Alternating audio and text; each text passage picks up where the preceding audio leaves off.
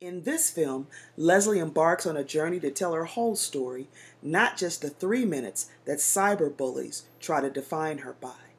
Let it be known today that Dr. Lesleigh Franklin is passionate about the lives of youth, immigrants, women, and women of color.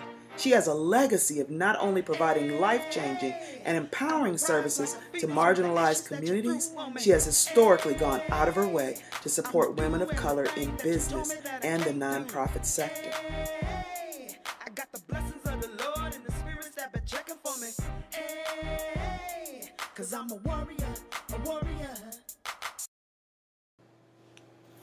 Lesleigh Franklin was born in Southern California to a working class family. Her family values were centered on advanced education and the pursuit of economic stability. Lesleigh remembers her mother as being resourceful, but somewhat unhappy in her day to day life. While she was a dedicated mother, Lesleigh says her mother's focus was on achievement, which helped Lesleigh become an accomplished musician and athlete. Lesleigh struggled with issues of fitting in due to living in a working class family in the upper middle class neighborhood where the majority of families had engineering degrees and worked in aerospace. Lesleigh's parents did their best to provide a stable home and opportunities for success to their children. Lesleigh's father grew up in poverty, helping to support 13 siblings after his biological father passed away. This would have a major influence on his limited view of the rich diversity in American society. All children feel the pain of their parents' struggles and disappointments. Lesleigh was no stranger to the challenges her parents faced. While Lesleigh's home was rich with ambition, it lacked the affection and warmth she needed as a young girl.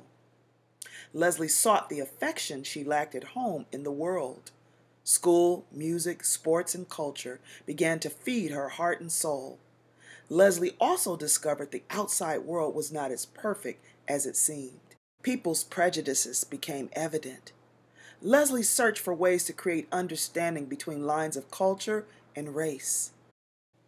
Lesleigh grew up with a hearing impaired aunt and uncle. Lesleigh notes how people treat those that they perceive as different. Lesleigh also discovers that she too has something unique about herself that people will judge and discriminate against. Lesleigh realizes she is a same gender loving woman and later falls in love with a beautiful woman of Afro Caribbean descent and also becomes a co parent of a mixed race daughter. This is where she experiences the ugliness of racism and gender discrimination. Post college, Lesleigh identifies her core mission social justice and working to dismantle systems of inequality, create visibility for social injustice, and support marginalized people.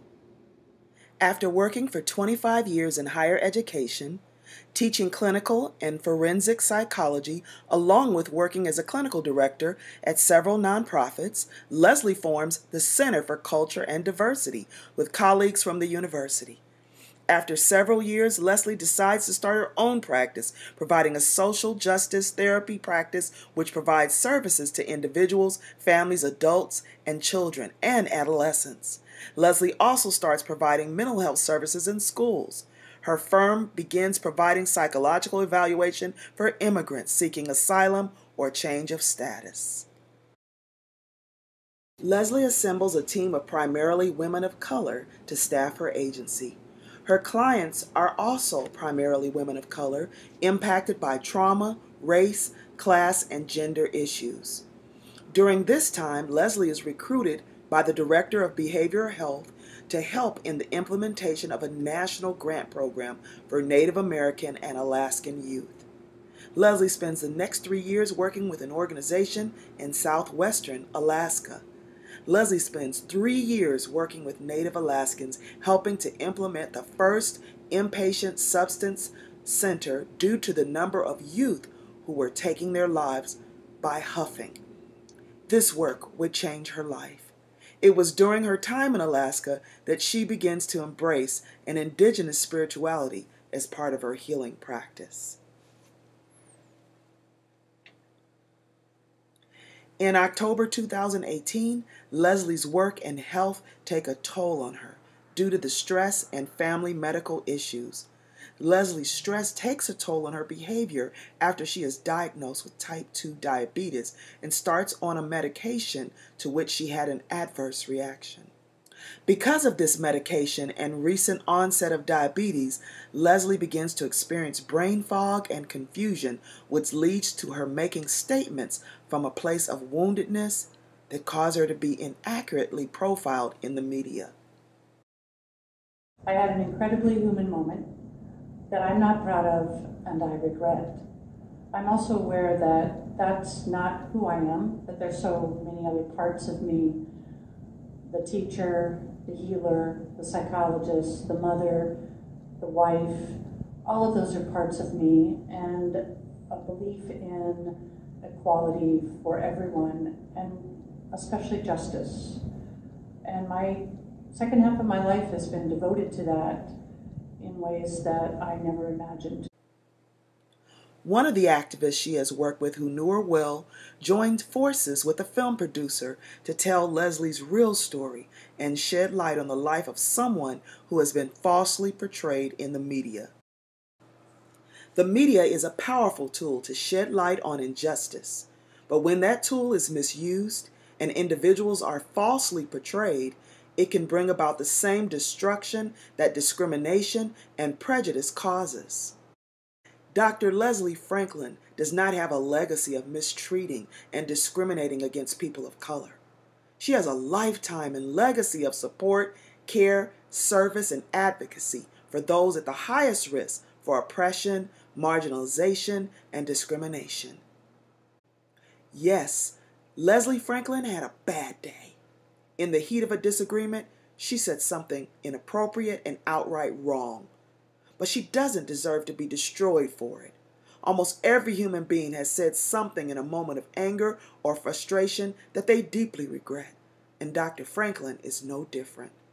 Lesleigh has made herself accountable and made changes to address her burnout so that she never gets to a point of complete mental and physical exhaustion. She has not only apologized publicly, she offered to meet with the man she had an altercation with to clear things up in person. Restorative justice teaches us that healing is always possible with accountability and change.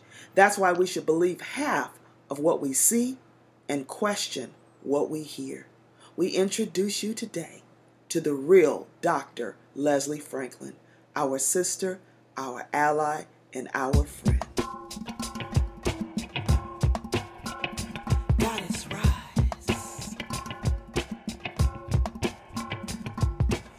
To the beginning, to the dawning of your power. Mothers and the matriarch finding a sacred hour. In the divine feminine is where we find the truth. Open up your cipher and.